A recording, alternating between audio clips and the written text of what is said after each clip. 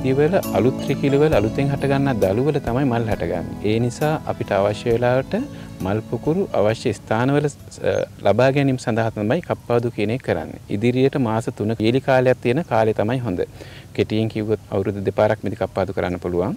එකක් ජනවාරි මාසේ අනිත් එක ජූනි මාසේ. මාසේ මොන දිනේද කප්පාදු කරන්න කියන එක තීරණය කිරීම ඉතාම වැදගත්. කප්පාදු කරන්න පුළුවන් මෙන්න මේ වගේ රිකිල්ලක කෙලවර ගත්තාම අංකුර ඊලි කාලයක් තියෙන කාලේ තමයි හොඳ. දෙවෙනි කාරණේ තමයි තැන් තැන්වල කුඩා අංකුර මෝදු වෙන්න පටන් ගන්න. ඒලාවට මේ වගේ මෝරපු හරියේ කොළ දෙකක් තුනක් කහපාට වෙන්න පුළුවන්, ඉදිල වැටෙන්න පුළුවන්. ඊට අමතරව වැල්වල තැන් තැන්වල සමහර විට කුරුල්ලෝ කූඩු බඳින්න පටන් ගන්නවා. වැල් වලින් 130ක ප්‍රමාණයක විතර වගේ තමයි දකින්න පුළුවන්.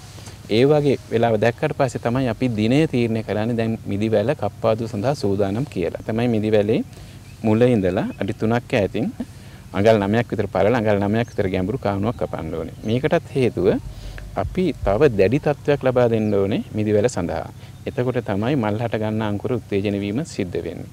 මේ කාරණා ටික කරාට පස්සේ කානුව කපලා දවස් 5ක් විතර ගියාට පස්සේ තමයි අපි කප්පාදු කිරීම කියන ක්‍රියාවලිය කරන්නේ. එතනදිත් අපි කරන්නේ කප්පාදු සඳහා සුදුසුරු කිරුවල මේ වගේ අංකුර පහක් මහතේ වගේ අංකුර පහක් ඉතිරි කරලා එතනින් කපල ඉවත් කරනවා.